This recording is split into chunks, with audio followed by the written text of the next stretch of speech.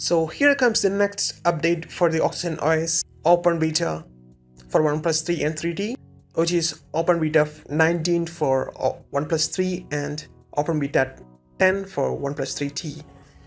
So here you can see I'm using Open Beta 19 for my OnePlus 3.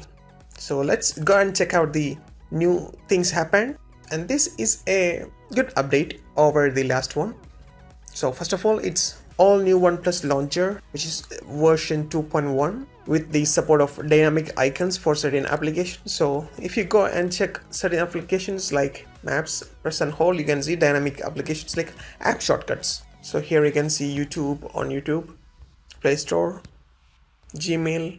So for the supported applications, you can find the dynamic application or app shortcuts. So if you go to settings menu, you can find app shortcuts. If, if you want to disable it, you can do it from here. Besides that, new settings for grid and icon customization. So if you go to settings menu from the home screen, you can find home screen layout. So here you can change the number of rows and columns by clicking here, which is pretty neat and good looking. And here you can change the icon size. I will go with the default one and then added search history in app drawer. So if you go to app drawer and if you're searching for any application from here let's say amazon and then opening it. So on top you can find these applications will be listed on top. And if you want to clear that one you can always clear the history. So all those applications will be cleared. So next one is the newly installed apps tagged with the blue dot so if you have installed any new applications let's say I'm, I'm trying to install a small application display off then if you look at the icon of that application you can see a blue dot on left side so until you open for the first time it will be there so next one is added battery status for connected Bluetooth devices. I've tried this one, but it didn't work for me. You can try it out yourself. And next one is OnePlus widget. So if you press and hold here and then take widgets you can find OnePlus widget here. Here is the OnePlus widget press and hold it here. So this is the OnePlus widget you can resize it. So if you tap on it it will open the weather app.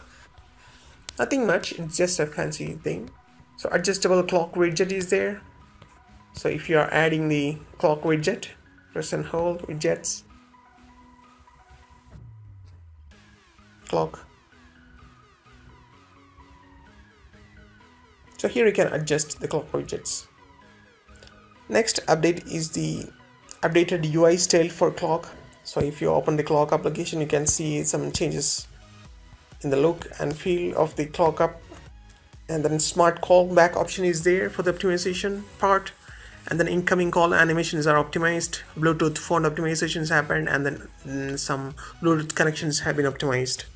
So overall, this is a fancy build with new addition to the OnePlus launcher. So I highly, recommend you to use this.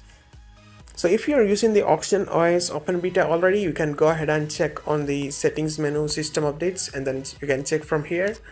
So you, you will get the updates. If it's not there, then you can always go ahead and download the Opera VPN and then change your region to the Canada and then search the updates again. So you will you will get the update. And if you're running on official build of Oxygen OS you can flash the full zip of any Oxygen open beta. And for all those I will provide a link in the description. So just go ahead and check it out. Thanks for watching. Please subscribe for more